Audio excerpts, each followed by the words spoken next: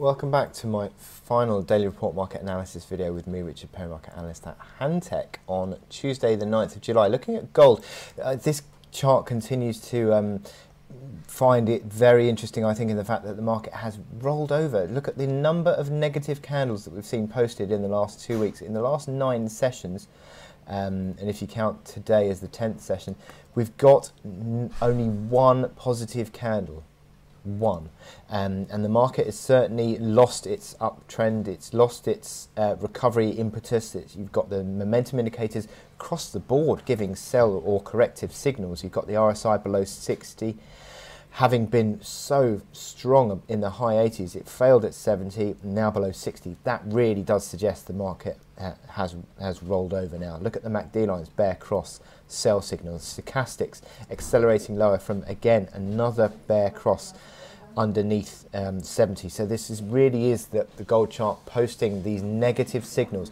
Pressure on 1381.50, that key reaction low from the 1st of July certainly seems to be building. Um, and a breach of that would complete a double top pattern and then certainly it put the market into corrective territory. You'd be further big retracements. You'd talk about retracement lines of 38.2% fib is 1374. You've got 50% fib of 1354.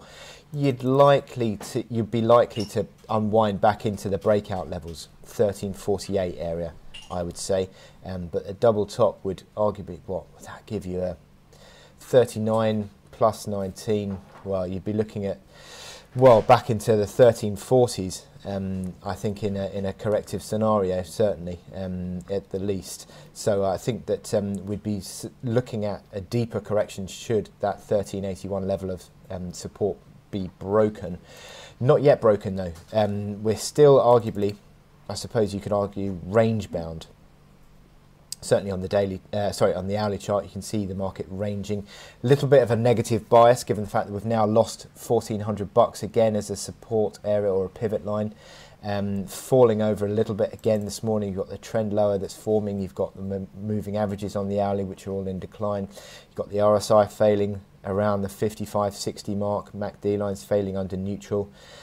So this is putting pressure on the support, I think, um, 1381.50, and how the market responds to that support is going to be key. So uh, with that in mind, I wish you good luck in your trading. Don't forget, we've got this trading webinar this morning, 11 o'clock UK time. Sign up to it on our website. But in front of that, I wish you good luck in your trading, and I'll speak to you again later.